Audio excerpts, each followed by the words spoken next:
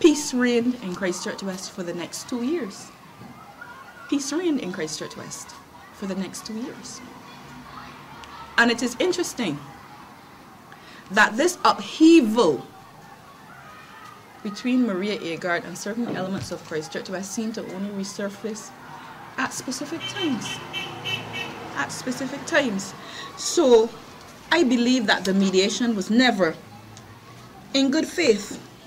And I go further and I say to you that even as the attacks were being made toward me, I tried my best to reach out, to bring peace and resolution to a branch that I had served for so many years.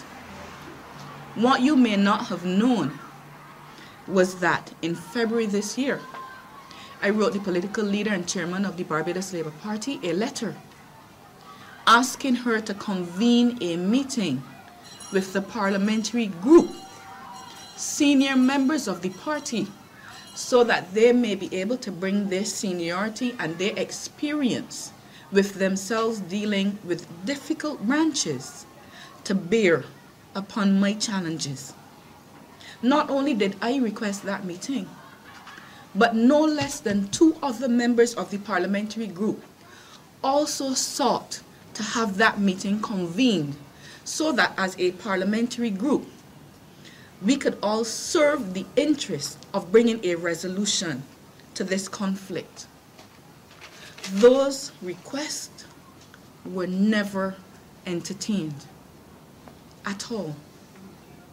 And therefore, the efforts that were intended to bring serious and lasting resolution to the conflict were forever rejected. And I make that point because I'm saying to you that no institution should ever be held ransom to the whimsical fancies and the agendas of individuals, and even more so an institution that aspires to form the next government. Issues like good governance and democracy should never be in question when dealing with an institution that desires to become the next government to lead the people of Barbados.